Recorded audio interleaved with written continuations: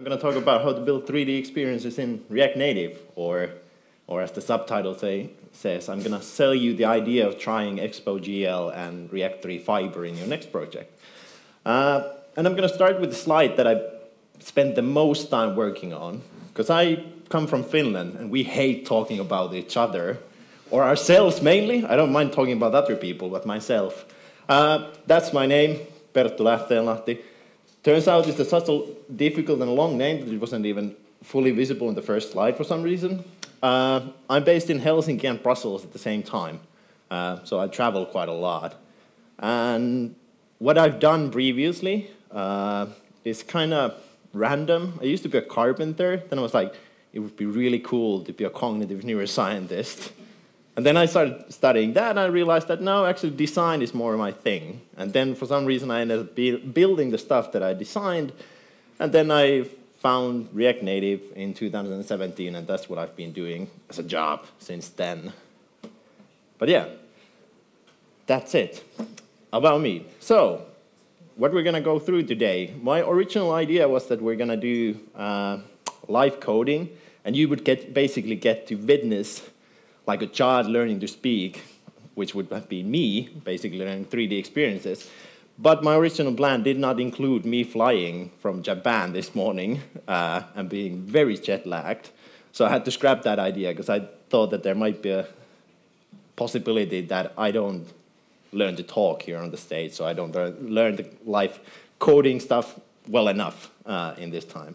So going to talk about why build 3D experiences, then we're going to talk about a little bit Expo GL. Move on from there to why you should use probably something uh, to make it a bit easier, and then talk about something called mental models, as, as I was big fan of saying when I was still doing cognitive neuroscience, and moving all that into a React world. And then in the end, just going to really quickly look at some alternatives that are coming along. Uh, and this all starts with uh, with a company that I've been working with called Noice, uh, which uses quite a lot of uh, 3D experiences actually. And well, if you don't know what streaming is, uh, Twitch and Kick are pretty good examples of that. So you watch other people play games, and that's about it. But at Noice, the idea is that that's not very engaging. It's not, not fun. So instead, what if instead of just watching the stream, you could play the stream? And instead of you just being a username in the chat, you could be like an actual person. So it uses avatars, for example. And I think I have a video here, but I also can show like the actual game here. So, well, the stream actually just ended on this guy, but you can see there's a website, you can watch streams, uh, there are 3D avatars, those are your characters, for example, who did the best game. I'm going to show you what a game actually looks like so you get the idea. But what you're basically doing is you're trying to guess what the players are going to do next, or the streamers, so to say. So you can see the 3D avatars there again. You can pick a card, you can play. This is what Noice does. And I'm currently working on taking all of this, all of this complex stuff, and putting into a mobile app built with React Native. And I've been doing that for six months now, and we're hopefully releasing this month. Unfortunately, I can't show you anything of that app because we are a very secretive company, but that's, that's a bad thing. No. Yeah, but yeah, Noice makes a very big use of 3D. For example, the avatars are customizable. You can sell clothes and everything, or buy clothes for them and customize them in every kind of way. And then we also have the stream area where you basically watch with other uh, stream viewers. And all of that is runs in the browser very nicely, but how do you get the same experience of being like very engaging experience in a mobile view? So I started looking into getting the same experience and Noice is actually not just one thing, it's four different clients. So we have one for streamers and one for the watchers and so on.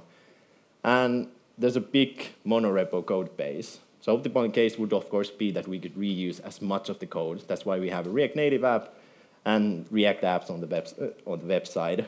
Uh, and we would like to reuse as much as possible, even on the 3D side. And, well, everything on noice.com is implemented with WebGL. Uh, and already implemented, so why not just throw it in the web view? Well, the goal for the Noice app in this case, and uh, I just want to point out, is that we want to make it like as native and as uh, good that it can be, basically better than the web. And you, you just saw the web, there's a lot of catching up to do. Uh, so just using web views is not really going to cut it. Uh, instead, we need something else. Uh, and for you who don't, you're not that familiar with WebGL, uh, so that's the JavaScript API for rendering 3D stuff in, in browsers. And for React Native, uh, you have ExpoGL, which is OpenGL rendering target. So, well, put in it in, in one way, kind of like a corresponding thing. And it's not a web view, uh, and the only minor downside that I've figured out, that have had it is with that you can't really do de development on the simulator. It just doesn't work. So you have to use a real device. That's the only thing. Uh, but getting started with it, very easy. Just start, start a new blank template with a TypeScript, for example, install the ExpoGL dependency, and you're technically ready to go. Uh, our, well, if you have a bare project, it takes a little bit more figuring out, but it's not that difficult. There's, for some reason, multiple blog posts about how to get it running on a bare React Native project. Uh, but I think that is a bit of a hard way to do things, and I don't see it, know if the code is there. Uh, you in the back, hope you brought your binoculars. Uh, but after you add the GL view from Expo GL, you can start writing code, uh, but it's not necessarily that familiar with you, especially if you've mainly written well, React Native and React. You're instead writing something what's called shaders. And I personally, when I started on this, had no experience with those because I've only done web and mobile development. So I needed something else uh, because for me, this was very intimidating and also took a lot of writing. So thankfully, there's an easier way. Three.js uh, allows you to stuff, do stuff a lot more easier. So instead of the, using like writing shaders, you use building blocks, so to say, like mesh, which is like the box here in this case, combining uh, the shape of the box and then also the material, in this case, it's just a black one. Then there's camera that you can control and put it in a certain perspective, and then light to give it the much needed realism, so to say. And that's all very good. And you can quite easily add Three.js. Uh, well, at least you can very easily install, install the Expo 3 package, which comes basically with everything that you need for that. And then you can just start writing normal Three.js scenes, which you can like see there on the left. You're adding a scene, you're adding ambient light to it, well, before that, you added a camera, adding spotlight, adding the cube there, and then the material. Uh, all very good, very nice do, things to do. But still, with the React Native, with the React mental model, this is not the most fun experience to do. And thankfully, there's still one more solution.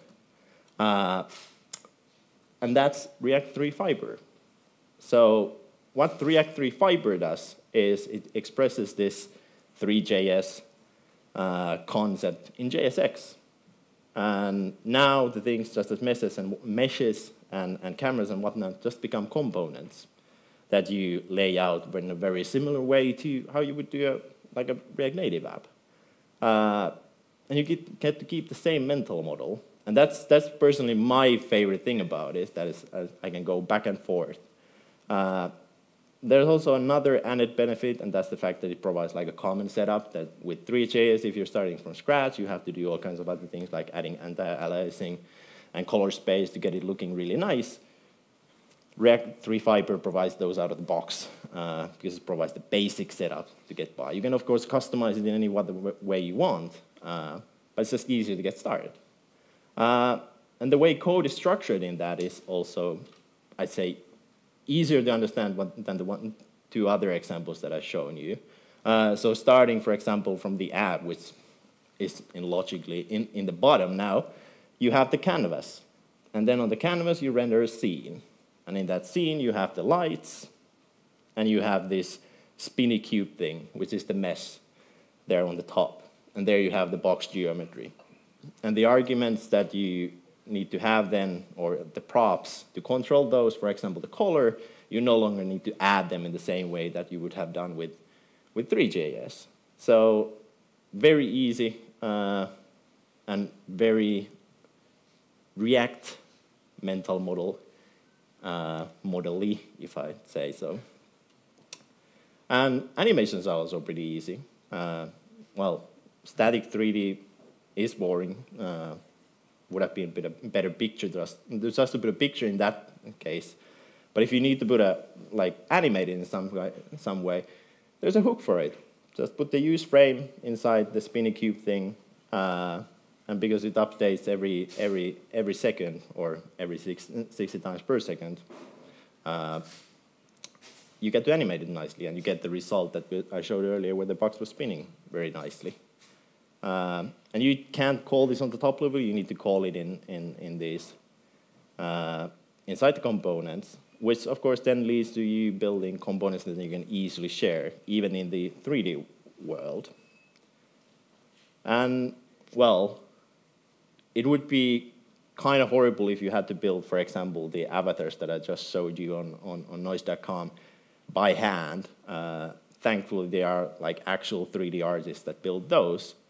Uh, and they can just give you the assets which you can then use. And React Three Fiber, uh, because it uses Expo assets under the hood, you just need to do a little bit of metro config changes, and you can instantly take those assets and use them. And just remember to use Suspense when you're loading them, and you're good to go, basically. Uh, well, then the downsides. This has been a big thing at Noice. We've like argued about it a lot. That we should we just go back to Unity? Uh, that's what most people most people in the company are thinking of. Or then Godot. Those are better for games, and uh, as you saw, those kind of fall. Even though the avatars are just like small part of it, they are kind of like game-like elements, and you need good performance. Uh, and the performance thing has been a big problem that we've had. Uh, so it's very difficult to get it like 100% right, uh, and especially with lower devices. So for example, we're now launching with only iOS, because aren't turning on this, uh, getting this run on Android in a way that would be like, well, business-wise, a smart decision uh, has been, well, to put it frankly, hell. But yeah. But yeah, there are some alternatives, uh, which at this point mostly seem to be like tweets about them, uh, which, well, they look very promising.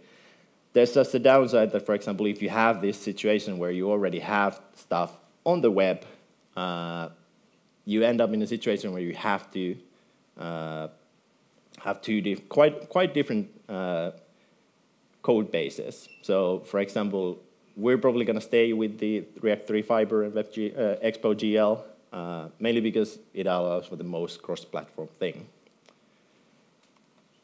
But hey, that's, that's all I have. So hopefully you took this very small ladder with five steps and you're now like this much up the ground and you have some idea how 3D experiences work on React Native. Yeah, thanks.